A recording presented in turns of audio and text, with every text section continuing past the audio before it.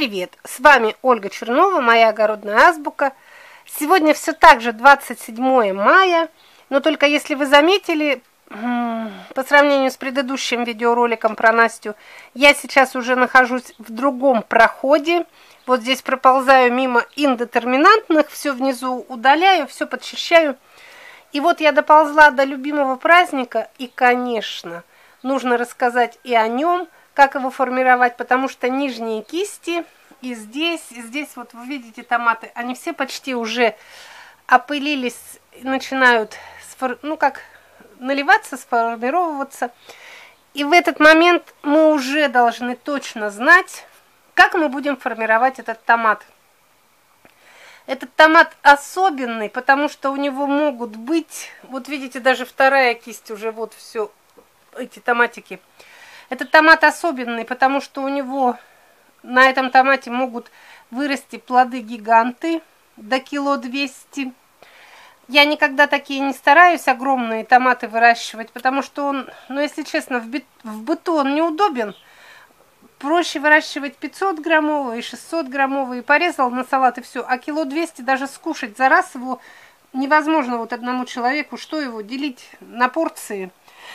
Но все равно вот этот любимый праздник, он способен дать такие томаты, но все зависит, опять же, от формирования. Я сейчас немного коротко опишу этот томат. Вот тоже стоит любимый праздник.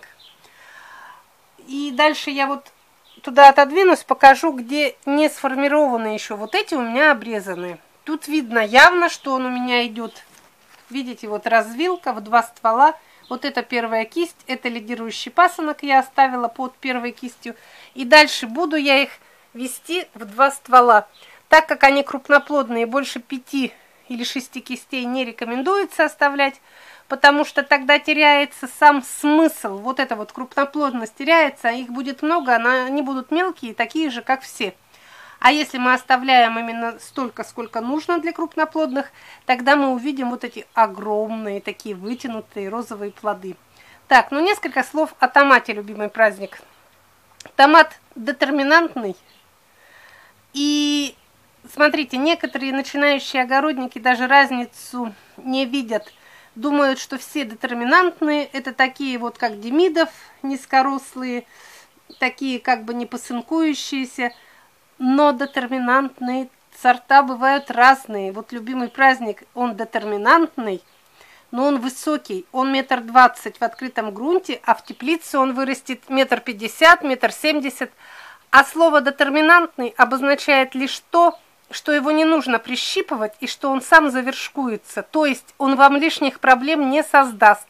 Он вырастет полтора метра, ну пусть метр шестьдесят, метр семьдесят, и он спокойно сам закончит свой рост, под потолок он не будет стремиться, он не упирается вверх, вот как, например, Дебарао, если его посадить в теплицу, он будет и расти, и расти, и расти, он пока не воткнется в потолок верхушки, это теплицы, пока там не сгорят у него все эти макушки, верхушки не прижгутся.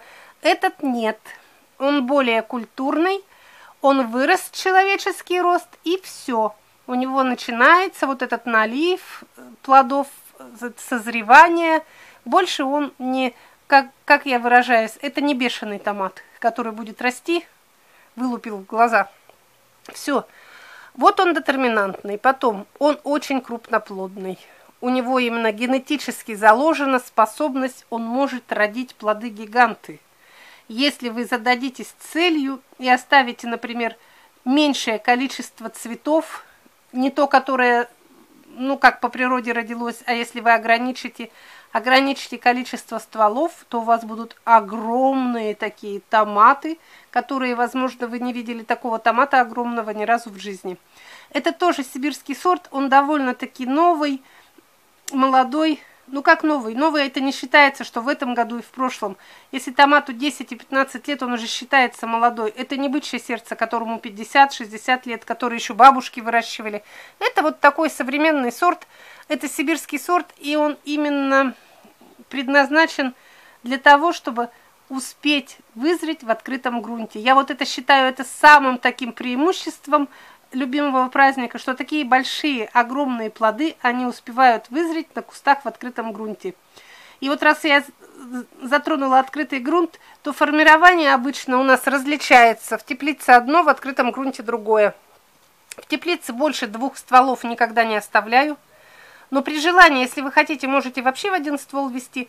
Но вот я два ствола оставляю, и все. И там пять будет у меня сейчас кистей. Вот вторая завязалась, третья цветет, четвертая цветет, пятая уже в зачастке. Можно сказать, что все кисти он уже выдал вот эти цветочные. Сейчас осталось ему только, как только он завяжется, я сразу буду лишнее, что если будет появляться, буду удалять.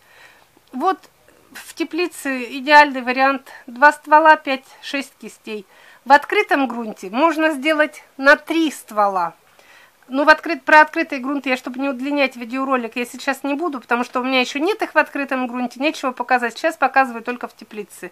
Вот смотрите, вот я два ствола оставила, сейчас я покажу, как он был когда я подошла сегодня, один специальный экземпляр оставила.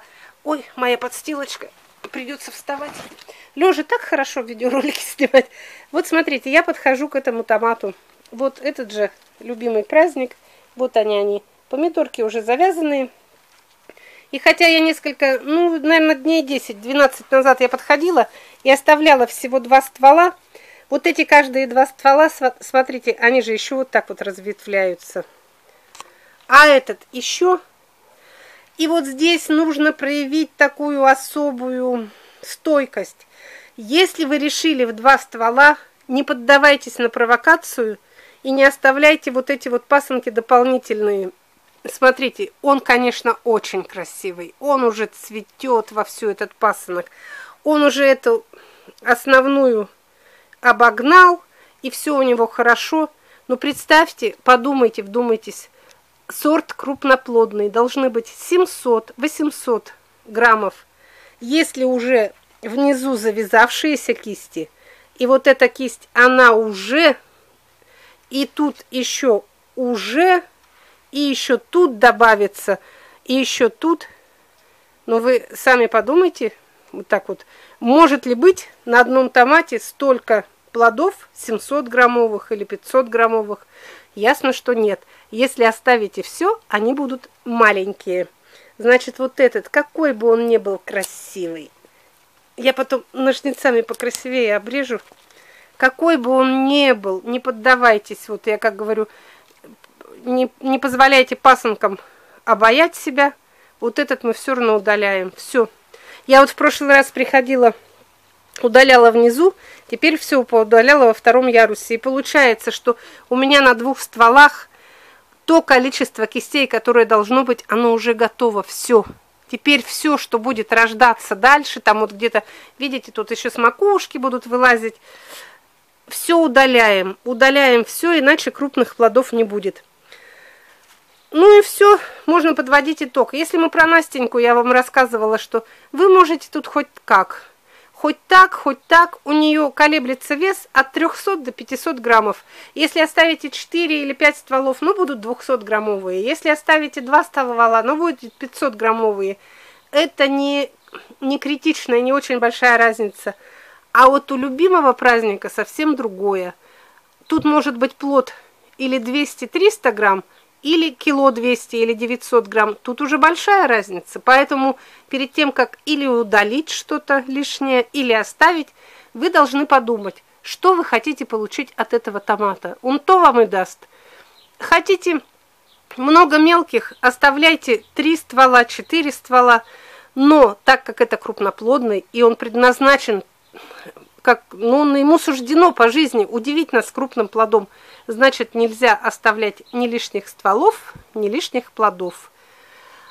Это, конечно, просто вот мои вот эти вот все советы, рекомендации, это просто на основании моего личного опыта. Каждый может делать так, как хочет, но я делаю так. В теплице два ствола, 5-6 кистей, на улице три ствола.